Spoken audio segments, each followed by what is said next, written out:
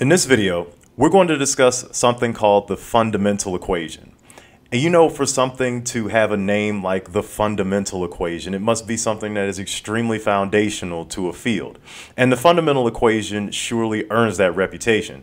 So uh, basically what we're going to be looking at here, we've talked about the first law of thermodynamics, where we've defined that energy is neither created nor destroyed. It's always conserved and transferred in processes of heat and work. And the second law of thermodynamics gives us a lot of power to be able to predict spontaneity, predict whether a process is going to happen or not. What the fundamental equation does is takes both of these ideas, takes the first law of thermodynamics, conservation of energy, and the second law of thermodynamics, prediction of spontaneity, and blends them together into one equation that can do both at the same time. So how do we do that? Well, first let's start with the basics, right? So of course, first law of thermodynamics is du is equal to dq plus dw. Right? So now if we consider a reversible process, right, we know that we can re-express dq in the following fashion, right? So we have a definition for the entropy, right? We know that the entropy is just equal to dq over t for reversible process. So we know we can re-express dq as TDS. So if we make that substitution here in the first law of thermodynamics, we get what's called the fundamental equation. TDS plus dW. Now we always consider pressure volume work, so the fundamental equation is usually written in the following fashion. TDS minus PDV. Right, so this guy is the fundamental equation. Fundamental equation. Right, and so just like I teased up in the beginning, right, it's still a re-expression of the first law of thermodynamics, but now it's expressed in terms of entropy. So we can use this same machinery that we've built up to predict spontaneity within the first law of thermodynamics. And what makes this really useful is that since all of the other thermodynamic potentials that we've discussed rely on a change in internal energy, we can re-express those in, in terms of the fundamental equation as well, right? So let's take uh, one example. Let's take enthalpy, right? So if we start with our definition of the enthalpy, we know it's H equals U plus PV right? If we want to get a differential here, then we have dH is equal to du plus PDV plus VDP. Now, what we can do, we have du there. We can plug in our fundamental equation to bring entropy into play, right? So we'll have uh, TDS minus PDV plus PDV plus VDP, right? Obviously, you can see that we get something canceling out here. PDV cancels out with PDV. So we end up with the final expression, DH is equal to TDS plus VDP, right? When we use the fundamental equation, we get this expression for the enthalpy. Let's keep going. Let's uh, look at the Helmholtz energy. So if we look at Helmholtz, right, what's our definition for the Helmholtz energy? We have A is equal to U minus TS. And if we get a differential, that's dA is equal to du minus TDS minus SDT. And then again, we plug in our fundamental equation, plug that guy in here, we get TDS minus PDV minus TDS minus SDT. And again here we get some cancellation, right? So these TDS terms cancel out. So from there, we end up with an expression for the Helmholtz energy of negative PDV minus SDT. Okay, fundamental equation of Helmholtz.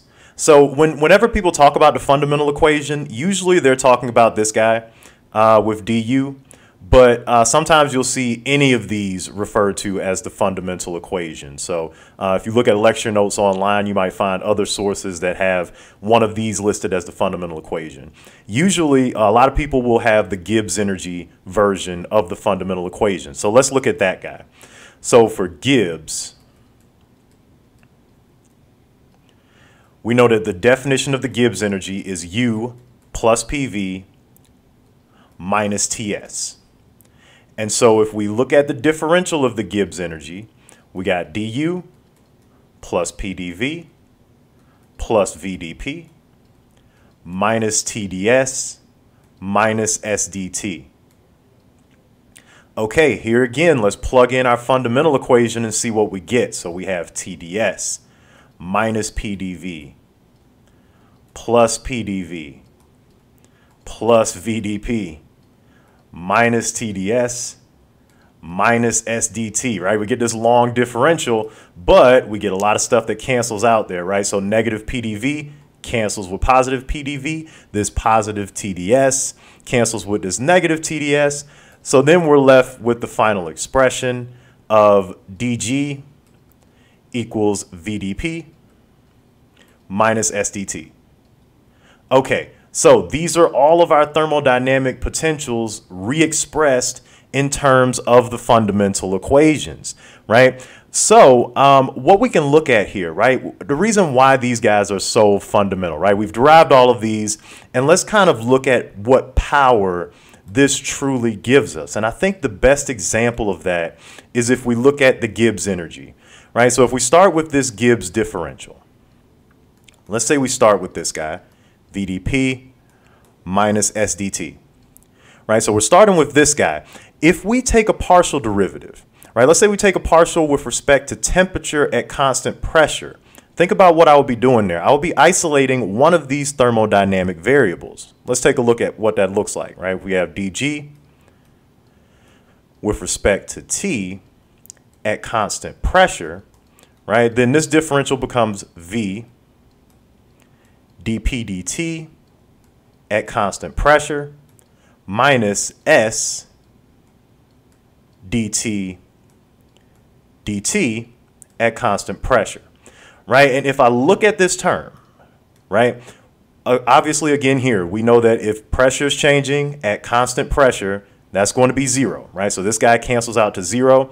dt over dt, that guy's just one, right? So what we've effectively done here since this first term cancels out, this guy goes to 1, then we have dg dt at constant pressure is equal to negative entropy, right? So we get these types of relationships from the uh, fundamental equations that we can actually really interpret and get some powerful results here.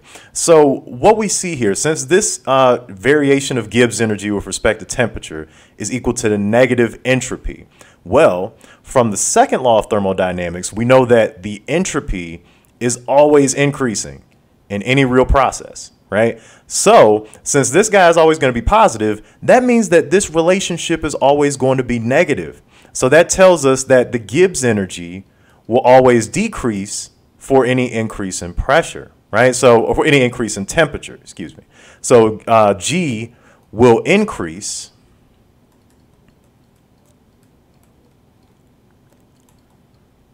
will decrease, my bad, will decrease